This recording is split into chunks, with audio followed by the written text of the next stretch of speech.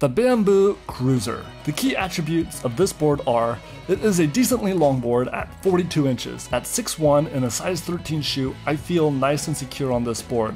It has a bamboo and fiberglass deck with a gentle camber. It has a wonderful amount of flex which helps smooth out the road. It feels great if you do a bit of carving as well. It has slight kicktails at each end that help kick the board up into the hand. The drop-through mounted trucks keep you low to the ground, helping reduce fatigue over longer distances. How it rides. This is a great board for cruising and commuting. It is smooth on account of the flex, which is nice, especially for distance riding. It's not so big that it's awkward to take onto the bus or into the office either. It also floats around corners.